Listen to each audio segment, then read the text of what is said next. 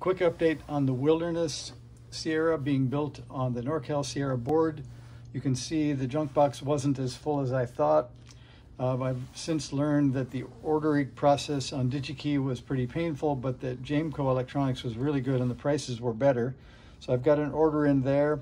I'll give you an update soon when more parts go on. Um, building low first before I put in the higher components, which will get in the way.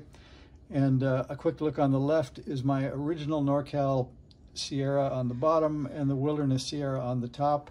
So there is some inspiration in all this. Thanks for watching. See ya.